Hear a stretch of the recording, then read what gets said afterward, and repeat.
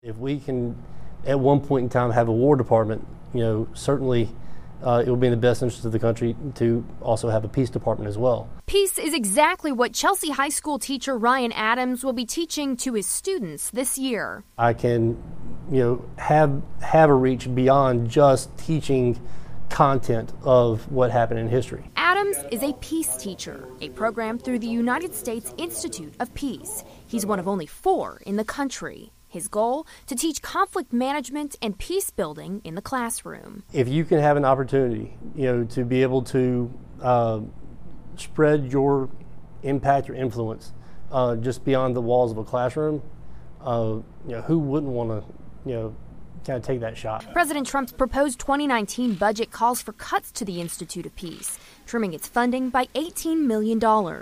A USIP spokesperson told us they're confident their work is a cost efficient way to support national security goals, and they communicate with leaders to make a case for their programs. I want to show uh, that the possibilities for them are also they're not foreign. For now, Adams' work is just getting started, showing students peace is possible.